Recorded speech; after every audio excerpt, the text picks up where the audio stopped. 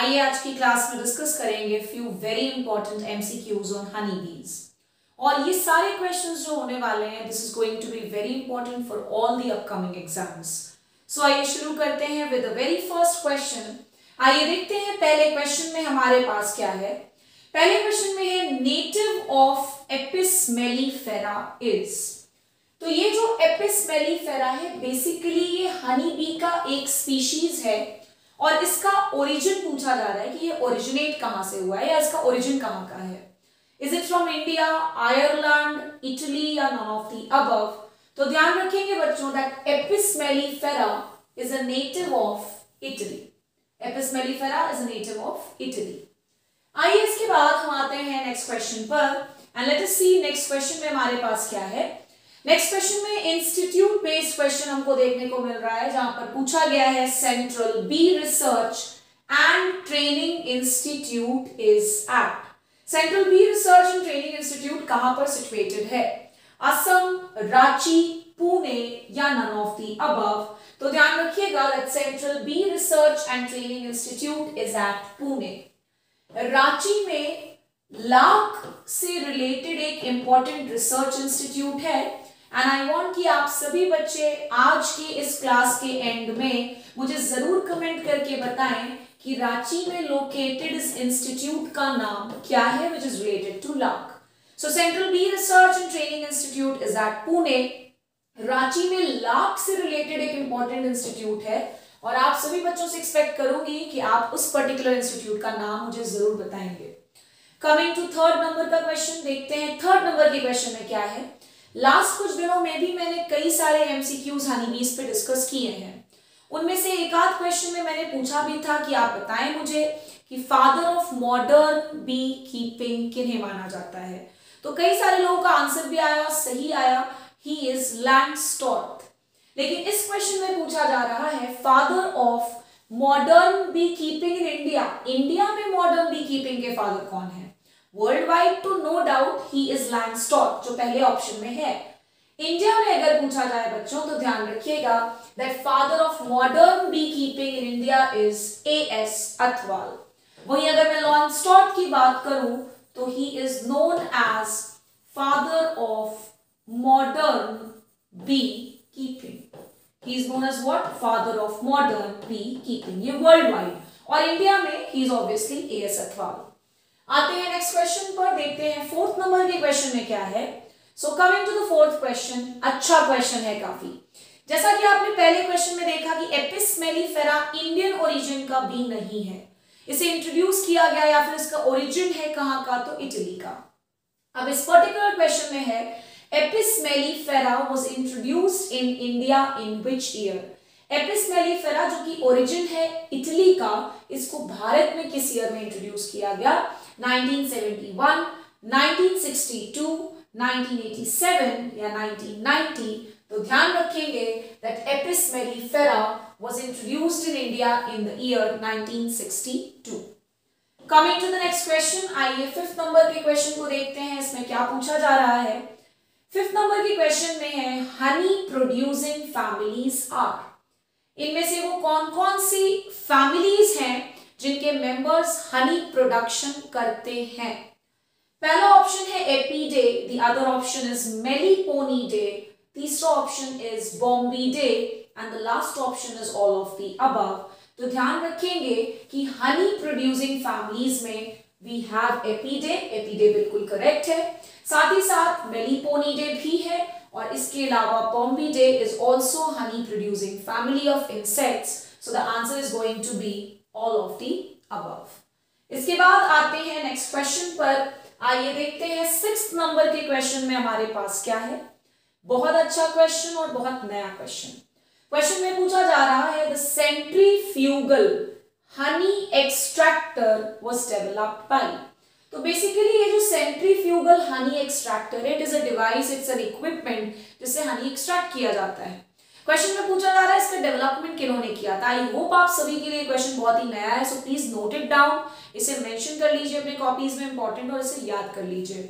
That centrifugal honey extractor was developed by options पढ़ लेते हैं लैंडस्टॉट जिन्हें हमने अभी जस्ट पढ़ा father of modern beekeeping next is Athwal father of modern beekeeping in India तीसरा है Hruschka and the last option is none of the above तो centrifugal honey extractor was developed by Hruschka I hope आप सभी को ये question याद रहेगा. Coming to seventh number का क्वेश्चन आइए देखते हैं सेवेंथ नंबर के क्वेश्चन में हमारे पास क्या है? सेम क्वेश्चन कुछ दिन पहले भी मैंने एमसीक्यू सेशन में डिस्कस किया था बट क्वेश्चन थोड़ा सा दूसरा था. क्वेश्चन में पूछा जा रहा है in India beekeeping was introduced in 1882 in Bharat में. बी कीपिंग का कॉन्सेप्ट 1882 में इंट्रोड्यूस हुआ, किस जगह पर इंट्रोड्यूस हुआ? Rajasthan, Bengal UP none of the above तो अगर आप रेगुलरली मेरे एमसीक्यू सेशंस को वॉच करते हैं तो आप सभी को आंसर डेफिनेटली पता होगा। दिस वॉज़ बंगाल बंगाल में सबसे पहली बार बी कीपिंग का कॉन्सेप्ट इंट्रोड्यूस किया गया in which year so it was 1882 next हम आ जाते हैं एट्थ नंबर के क्वेश्चन पर। बहुत ही अच्छा क्वेश्चन क्वेश्चन में पूछा जा रहा है bellows smoker was first designed by basically bellows smoker is a device जो कि बनाया गया है टू काम डाउन हनी बीज जैसा कि आप जानते हैं हनी बीज जो है वो बड़े भड़कीले से होते हैं। तुरंत से उन्हें गुस्सा आ जाता है, तुरंत से काटने को दौड़ जाते हैं, है ना? Bellow smoker is basically a device which is made for calming down honey bees उनको शांत करने के लिए बनाया गया है। कामिंग डाउन हनी बीज कैसे काम करता है इसके लिए एक आध दिन एपीकल्चर की क्लास ज़रूर लूँगी मैं। So calming down of honey bees फ़िलहाल इतना याद रखिए। Bellow smoker was first designed by Harushka, Moses Quinn by Athwal none of the above बहुत ही अच्छा क्वेश्चन होने वाला है ध्यान में रखिएगा। और ये क्वेश्चंस आपको जनरली एक जगह पे कंपाइल नज़र नहीं आएँगे। सो नोट डाउन कर लें that it was developed by Moses Quinn by bellow smoker किसके द्वारा डेवलप किया गया? मॉसेस क्विन बाय और आपने जस्ट अभी पढ़ा था इससे पहले वाले क्वेश्चन में दैट हरुष्का ने डेवलप किया centrifugal honey extractor coming to ninth number का क्वेश्चन क्वेश्चन में पूछा जा रहा है the concept of beekeeping was introduced into South India by अभी हमने एक क्वेश्चन पढ़ा बी कीपिंग से रिलेटेड कि भारत में सबसे पहली बार बी कीपिंग का कॉन्सेप्ट 1882 में इंट्रोड्यूस हुआ बंगाल में। अब यहाँ पर पूछा जा रहा है कि साउथ इंडिया में किन्होंने सबसे पहली बार बी कीपिंग का कॉन्सेप्ट इंट्रोड्यूस किया? ऑप्शन में Athwal Langstroth Newton none of the above तो बच्चों, ध्यान रखिएगा that in South India the concept of beekeeping was introduced by Newton coming to tenth number question आइए देखते हैं टेंथ नंबर के क्वेश्चन में क्या है? ये भी मैं कहूँगी बहुत अच्छा क्वेश्चन है एक बार पढ़ेंगे इस क्वेश्चन को और पढ़ करके समझने की कोशिश करते हैं कि पूछा क्या जा रहा है क्वेश्चन में है bees restrict themselves to a single source of pollen and nectar until it is available. This is known as. जो हमारे हनी बीज होते हैं, ये हमेशा कोशिश करते हैं कि एक ही पर्टिकुलर प्लांट स्पीशीज से पोलन और नेक्टर एक्सट्रैक्ट करें जब तक कि उसमें अवेलेबल हो मतलब कि ये बहुत ज़्यादा वफादार है एक ही पर्टिकुलर प्लांट के लिए। ये बार बार उस प्लांट को छोड़ करके किसी दूसरे प्लांट में पोलन और नेक्टर कलेक्ट करने नहीं जाते हैं। तो बड़े वफादार होते हैं, जिस भी प्लांट से ये हनी कलेक्ट कर रहे होते हैं पोलन कलेक्ट कर रहे होते हैं नेक्टर कलेक्ट कर रहे हो। आई होप आप सभी को समझ में आ रहा होगा। तो बीज restrict themselves to a single source of pollen and nectar until it is available and this is ध्यान रखिएगा हनी बीज का एक प्रॉपर्टी होता है कि एक पर्टिकुलर प्लांट पर तब तक पोलन और नेक्टर को कलेक्ट करेंगे जब तक कि उस पर्टिकुलर प्लांट में अवेलेबल होगा। खत्म हो जाए, तब they will shift to another plant और इसी पर्टिकुलर प्रॉपर्टी को हम क्या बोलते हैं, ये क्वेश्चन में पूछा गया। सुपर सेड्यूर आउटडोरिंग रॉयल फिडेलिटी या नन ऑफ़ दी अबव तो बच्चों, ध्यान रखिएगा दैट इस पर्टिकुलर चीज़ को हम कहते हैं रॉयल फिडेलिटी इसका एक और नाम भी है एंड आई वॉन्ट कि आप सभी बच्चे मुझे कमेंट करके मैसेज करके बताएँ कि रॉयल फिडेलिटी को आप क्या कहते हैं? एंड आई होप आप सभी को रॉयल फिडेलिटी का मतलब भी समझ में आया होगा।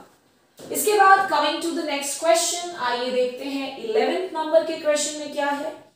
तो इलेवेंथ नंबर के क्वेश्चन में पूछा जा रहा है heating of honey to which temperature for thirty minute destroys yeast and prevents fermentation किस टेम्परेचर पर हनी को 30 मिनट तक गर्म करने पर ईस्ट पूरी तरह से खत्म हो जाते हैं और फर्मेंटेशन का प्रोसेस जो होता है वो इनहिबिट हो जाता है। 60, 50, 64 and none of the above तो आंसर याद रख लीजिएगा दैट चौसठ डिग्री सेल्सियस पर 30 मिनट्स तक अगर आपने हनी को हीट किया है तो ईस्ट पूरी तरह से खत्म हो जाते हैं और फर्मेंटेशन का प्रोसेस इनहिबिट हो जाता है। तो again a very important question and a very new question upcoming किसी भी एग्ज़ाम में इस तरह के क्वेश्चंस आपको डेफिनेटली नज़र आ सकते हैं। Next is European bee is इनमें से किसे हम यूरोपियन बी भी बोलते हैं?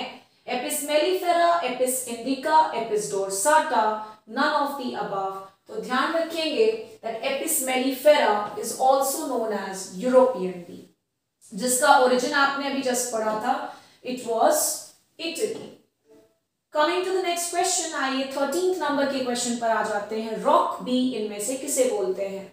Apis dorsata Apis mellifera Apis cerana and none of the above तो ध्यान रखिएगा that rock bee is Apis dorsata rock bee हम किसे कहते हैं बच्चों? Apis dorsata next coming to fourteenth number का क्वेश्चन आइए देखते हैं। फोर्टींथ नंबर के क्वेश्चन में हमारे पास क्या है?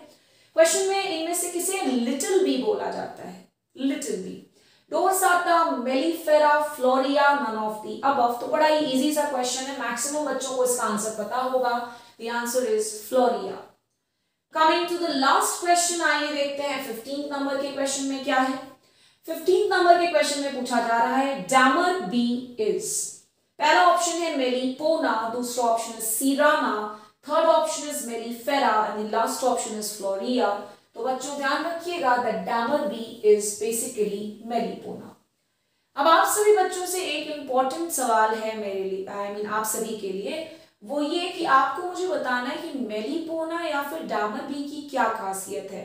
What is the special character of dammar bee और Melipona species of honey bee I hope आप सभी बच्चों को आज का सेशन काफ़ी इंफॉर्मेटिव लगा हो।